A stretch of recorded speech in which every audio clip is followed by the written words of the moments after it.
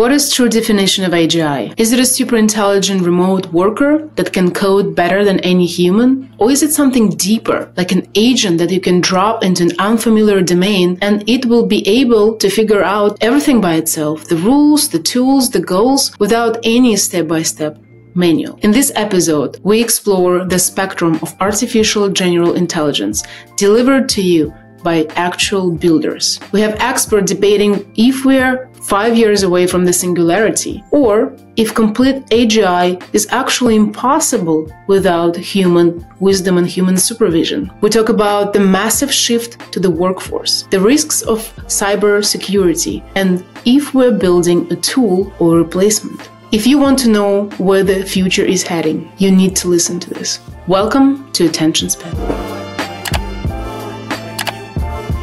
The true definition of AGI that like the original researchers of AI have talked about is being able to drop an agent in any environment and the agent to be able to be successful, plan and be successful, learn skills efficiently on the fly. That's how humans work. Obviously, we have mm-hmm.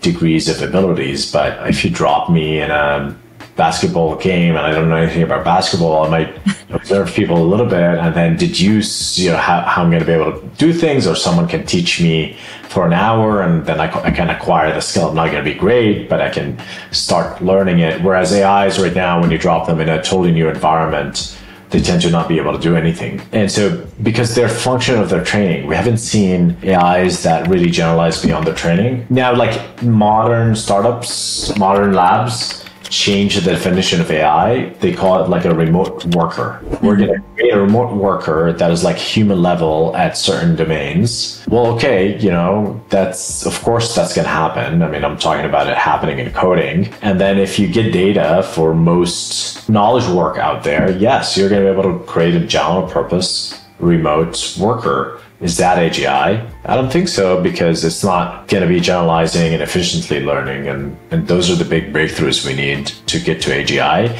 And I feel like, yes, we're going to get more breakthroughs and we're going to get closer and closer. But I think ultimately we need to understand the nature of the mind and need to, understand consciousness and we need to understand the brain a lot better to be able to get the final breakthrough, I think, in, in simulating a mind and machines. Yeah, I haven't noticed any doomism in your interviews or anything like this about AGI. No, I think uh, I think there's big risk in AI, like any other technology, but I don't think there's a Skynet type risk like from that movie uh, Terminator, where you know there's a single AI entity that's taking over the world. I don't think that's plausible. So if you achieve AGI, it becomes so good, so intelligent that it would it can construct its own tools and wouldn't need us. And so part of the reason why I don't like to sit down and try to predict AGI because there are certain outcomes that we don't have control over. So if we actually going to achieve AGI and then ASI, which is super intelligence, then it doesn't matter what we predict because then the world is going to rapidly change. We're going to reach the point that's called the singularity. So I'd rather prepare for what I think the more likely world is, is uh, AI that is continuously improving, becoming more autonomous, but it's generally still a tool. I think AGI is something that's far from the world that I see, in honesty. The world that I see tends to be like, rather than artificial general intelligence, it's like practical specialized intelligence. And so I think that AGI oftentimes think about in the research labs, you know, folks that will come up with good definitions. If we take a definition of AGI as like, can a model pass a Turing test? I would suggest that we're probably, you know, in that ballpark already. Uh, what's the practical implication of that? I don't spend too much of my time thinking about the Terminator style scenarios, but I do spend a lot of my time thinking about what does having this generalized intelligence look like when you actually have businesses processes like a company, Fortune 200, like Marsh McLennan. Mm-hmm. Or you know another organization that I mentioned earlier, like Checkr, or or you know any of these other companies that have a lot of productivity that they've unlocked via business practices over the past previous decades. And that productivity is about to take a step function change and increase. Mm-hmm. To me, that's really kind of like the interesting area for where this is going to go. There's probably some deeper philosophical questions about what will happen like over, you know, 5, 10, 20 year period. We found it pretty hard to even predict what's going to happen 18 months from now in AI. And so I think uh, that's really where a lot of my focus has been is what's going to be the practical implication on both enterprise and consumer. I prefer to be more down to to earth, looking at the what we can do from the engineering point of view. I definitely think that the co-agency and hybrid systems where humans and AI are collaborating are the next step. Whether it is the last step or not, I honestly don't know. I have no idea. I, I personally don't think that there is such a thing as complete AGI. There will always be some need in uh, the ground truth, which you cannot get from anywhere apart from the human wisdom. That's what I love talking to practitioners because basically every time I ask a question about AGI, people say, uh, well, I try to look more practical on that. And you create this whole thing. You really know like how it works practically. So I think it's very helpful to have this narrative out. I think this is maybe both good and bad because, well, we are developing step by step and every step uh, seems quite small. And maybe within those small steps, there is kind of a risk to lose the bigger picture. So AGI, you know, is a, a topic people sort of like. It's such a great science fiction topic and ASI for superhuman intelligence and all those things. And it becomes almost a philosophical conversation with lots of people of like, like, you know, what is, how do we know that we've actually reached it? Over a nice glass of wine and go indulge in a nice conversation about that. I tend to be just much more pragmatically focused of like, we have this AI that's, you know, is it AGI? I don't know. I don't think so. Mm-hmm. It's pretty helpful though. It's a very useful tool. I really like being able to use it. And so I very much focus on that. There will be, you know, the things that people worry about with AGI in terms of the way that people's jobs change and, and potential disruption to jobs that come with that. Those are very real concerns, but those are real concerns with the tools that we have today. And they've been very real concerns with, you know, mm-hmm. back to the Industrial Revolution, with the invention of the PC, and like the number of jobs that have changed, they change. And that's hard for societies to sort of work through, but they do work through them. When I think about AGI, I hear the debate really being about around, hey, the world as we know it is going to work differently. What does that mean for me? That's the important question for everyone to work through. Are we close to understanding that or just more questions? It's interesting how developers, programmers are going to be one of the first first places to grapple with this, that the role is going to change. And so you're going to need to, you know, the ability to sort of remember some arcane API or quickly search for it is less important. The ability to use the AI tool is suddenly much more important. It's funny, the calculator analogy, like there's some companies that are interviewing for developers and trying to prevent them from using, you know, AI in the interviews. And I was talking to another company was like, that's the totally wrong approach. Mm-hmm. They should be using the tool. I want them maybe using the most advanced tools and showing that they're they're comfortable and fluent in it because that's where the developer world is moving and they need to be good at that. They're going to have to work through like how does the developer job change, but being comfortable and fluent with the tools is going to be a key part of that. How long will it take, do you think, to be for everyone to be more productive, um, more knowledgeable about agents, and for agents to work properly, like from two to five years? To get to a place where people are very frequently using agents in a large portion of their professional life, I think that's probably the right timeline. Yeah. My personal belief is that with AGI, it is ultimately an accelerant and a partner to humans. The thing that makes us unique as a species is we are inherently creative and opinionated and we are so dynamic in that we constantly change. You know, the way that AI has been built right now is that it is meant to reflect human intelligence and synthesize it at levels of capacity well beyond what we've ever seen before. And with AGI, it's the ability to iterate off of that and actually generate and create. And I think it'll mimic some of those human behaviors, but I don't fundamentally believe that it will replace them. And so if I then apply that back down at a software level, AGI will fundamentally change the experience of like how we would need to interact with software to accomplish a task. And it could potentially accomplish the majority of that task. But I believe that it will still need some amount of direction or perspective from a human lens to drive it. We all as a community has been uh, have been struggling now to define uh, AGI, and the definition itself has been changing ever since uh, ChatGPT came to the world. In my opinion, AGI is achieving a system that can be better than any human at any topic. That is AGI, which is a very, very hard goal to achieve. We don't have that today. We have these systems that are better than us in some domains, but only better than yeah. the average of us, not better like even in coding, for example, we still are not better than the best human coder. Mm-hmm. We're still behind them. I think AI is now like 89th or 90th, something like that, across the world when you rank them with amazing coders uh, that we have. So imagine now doing that for coding, for legal, and for medicine, and for chemistry, and for quantum physics, and for architecture, and for poetry, and for art, and for dancing. Now, that is AGI, in my opinion, and I still think that's five years out. Just five years, okay. the reason why the reason why just five years is because of coding. So everybody right now, the big labs, they're very focused on the coding problem to get the coding systems to be as good, uh, better than the best human at coding. And once that is achieved, then now the AI system can start working on itself. And once the AI system can start working on itself, then that will speed up the timeline significantly. We're expecting that the coding systems will reach that point within the next two years.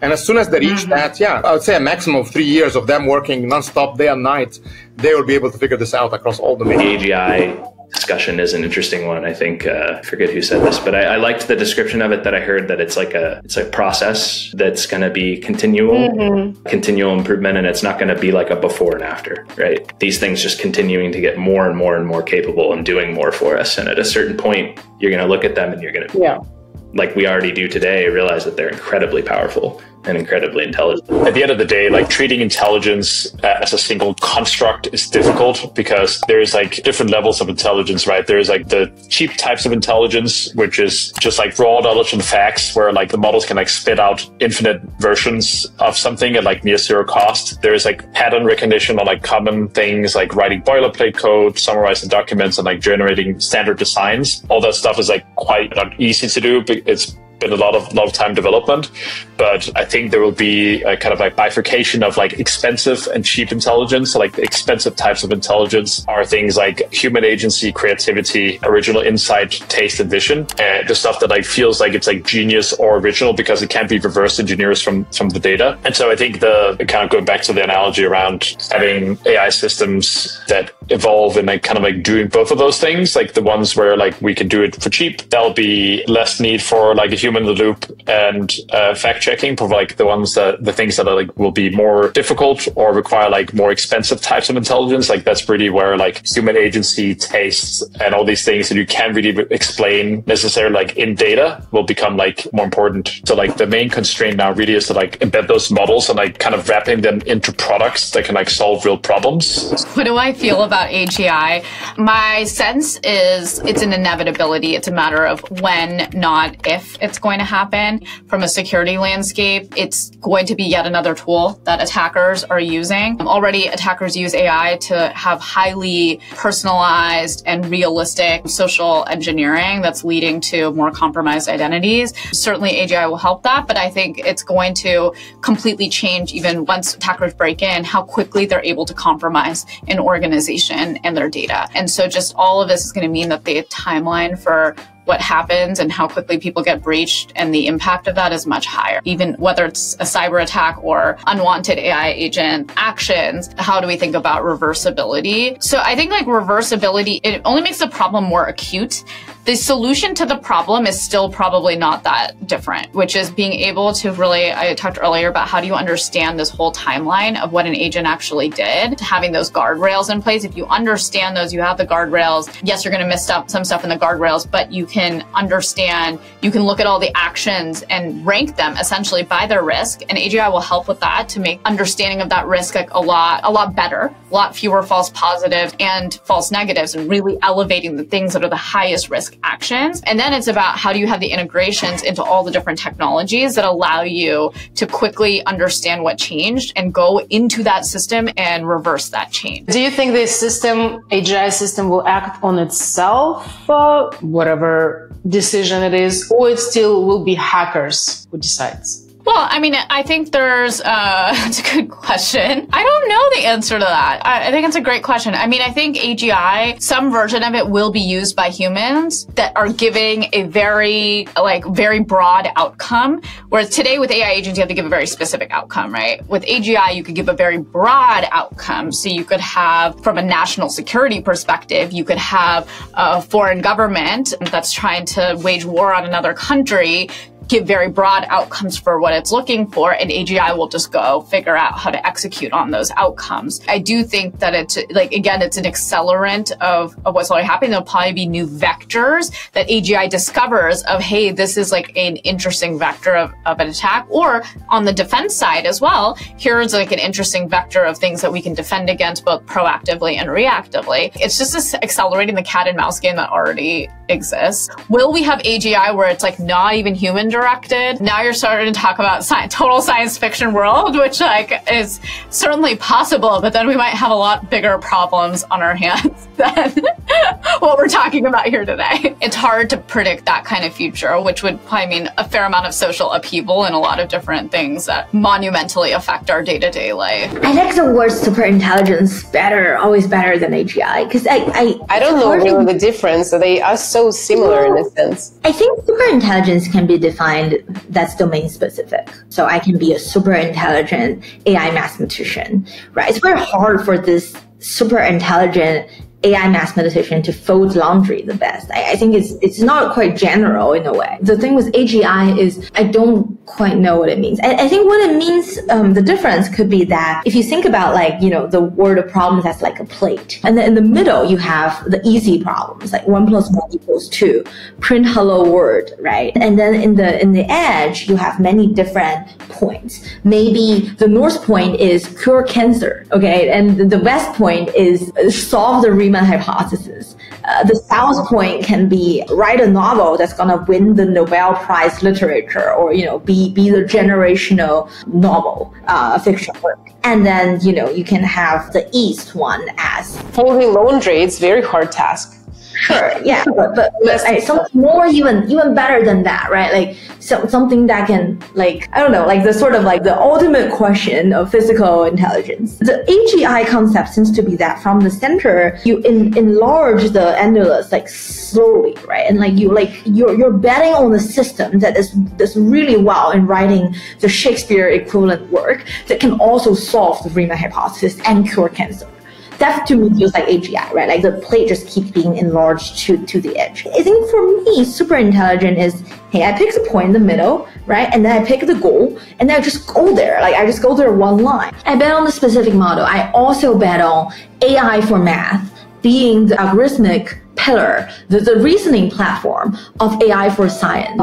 And that's going to be the future. I think that's going to be the next frontier in AI, um, AI for math, AI for science. I don't, don't want to uh, sort of get out ahead or differ from like other perspectives at OpenAI on this, but what I'd say I'm excited to work towards is something where this technology can take really meaningful, valuable action for you and help you sort of sift through all of the challenges and opportunities in your life and, and, and, get stuff done for you in a really meaningful way. So that's the kind of product that I'm interested in building. I think in the future, we will see the computing platform that supports all of this evolve in massive ways where, you know, the, the, these technologies can do things way faster than you can. And what that means will be that you can do much more. I'm very bullish on like productivity uh, increasing massively as a result. You know, there's certain things that I do by hand today where I might spend an hour or more doing some like information retrieval drudgery, whereas I can imagine a system that is like massively parallel doing that in minutes or seconds even. And so I'm excited about that. Whatever definition that that fits, I'm not sure, but that's something that I'm excited to see happen and uh, I'm excited to build.